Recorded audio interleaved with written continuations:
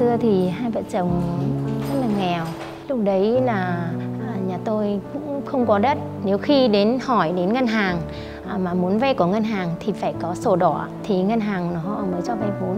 Thế nhưng với điều kiện gia đình tôi ý, đất không có nhà thì không không có một cái gì căn cứ cho nên cũng không dám tìm đến ngân hàng. Có một hai lần ý, hỏi à, người thân á, thấy anh em cũng khó khăn cho nên cũng không giúp gì được mình.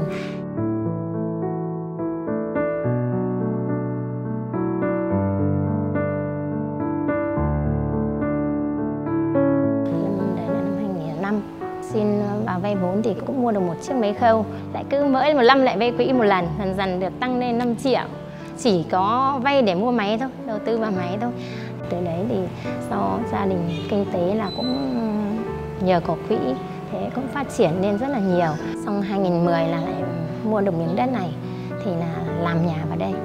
Xong đó từ cái đà đấy là nhờ có quỹ tim cứ nguồn vốn ngày càng đẩy lên ý thì là cứ phát triển là mỗi một năm vay được vốn lại mua thêm máy là cũng phát triển lên được ờ, hơn ba chục máy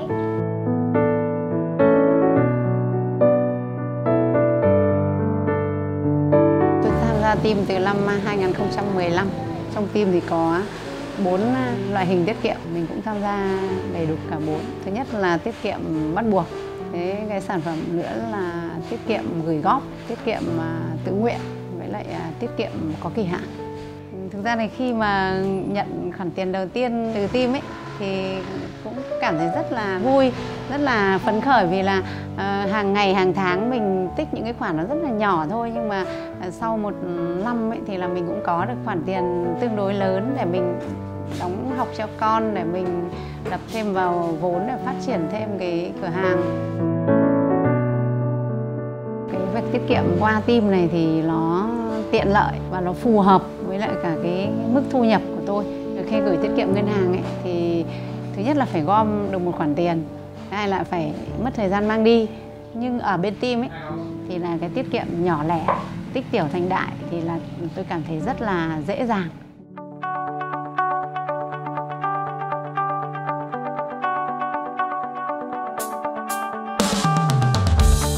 Suốt 27 năm hình thành và phát triển, thì team luôn trung thành với sứ mệnh được Hội Liên hiệp Phụ nữ Việt Nam giao phó đó là hỗ trợ chị em phụ nữ thông qua việc cung cấp các dịch vụ tài chính và các dịch vụ xã hội. Team đã à, chú trọng tới việc thiết kế và phát triển các sản phẩm, dịch vụ sao cho đáp ứng được tốt nhất nhu cầu của các chị em thuộc rất nhiều đối tượng khác nhau. Đồng thời, team cũng à, chú trọng đến việc nâng cao à, nhận thức cho chị em phụ nữ thông qua việc lồng ghép các hoạt động giáo dục tài chính. Đặc biệt, team còn không ngừng mở rộng mạng lưới để tạo cơ sở cho việc tiếp cận được nhiều nhất các chị em phụ nữ, đặc biệt là ở các vùng nông thôn, miền núi và bán đô thị. với cái hoạt động tài chính vi mô hiện nay thì chúng tôi tập trung vào cái sản phẩm là tín dụng À, tiết kiệm. Và gần đây thì chúng tôi thực hiện về bảo hiểm vi mô chúng tôi còn có một cái hoạt động nữa là giáo dục tài chính. Và với những cái hoạt động tài chính à, vi mô này thì chúng tôi đã đóng góp hết sức là quan trọng vào tài chính toàn diện của Việt Nam. Nói chung là cái hoạt động tài chính à, vi mô của hội đã đóng góp hết sức là tích cực để nâng cao đời sống cho một cái bộ phận phụ nữ là thành viên, hội viên của chúng tôi ở những cái vùng sâu, vùng xa. Thế và cũng đóng góp vào cái an sinh xã hội của chị em phụ nữ.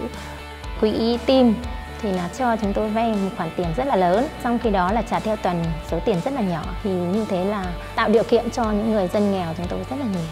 Kinh tế gia đình là cũng à, nhờ có quỹ là cũng đi lên rất nhiều rồi.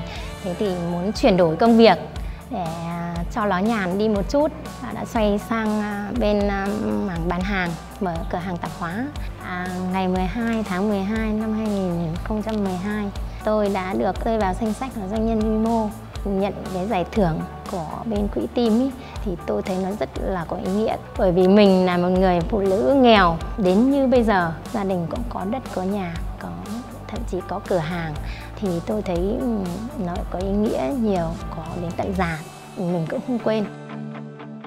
Giáo dục tài chính với cái trò chơi tiết kiệm mà team đang tổ chức thì cái đấy đó là cái, cái phần thiết yếu của cuộc sống rồi. Nó rất là thiết thực rồi. Nó giáo dục cho người ta biết được cái cách cân đối thu và chi của gia đình nhà mình. Tôi cũng rất là tâm đắc với cái trò chơi tiết kiệm của team.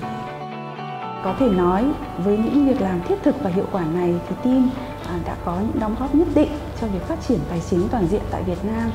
Với cái sự hỗ trợ của FBFIC, chúng tôi tiếp tục đẩy mạnh các cái hoạt động à, giáo dục tài chính cho chị em phụ nữ à, và với cái mong muốn là ngày càng nhiều chị em phụ nữ ờ, đặc biệt là chị em phụ nữ ở những cái vùng sâu vùng xa chị em phụ nữ nghèo được tiếp cận với các cái dịch vụ tài chính Sparkassenstiftung für internationale Kooperation ist a private development institution from Germany.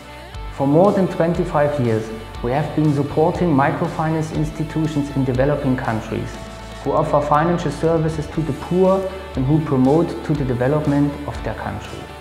We have the following objectives to strengthen low-income households and to offer them affordable access to finance, to professionalize our partner institutions and to help them to work more efficiently and to stimulate the exchange in between the regional microfinance network. Since 2005, Sparkassenstiftung supports the Vietnam Women Union in designing and implementing of financial services for its members. Sparkassenstiftung assisted TYM to improve its organization, to train its staff, to expand its branch network and to develop new financial products. Together with our partner, we could achieve financial inclusion for 160,000 low-income women and their families in Vietnam.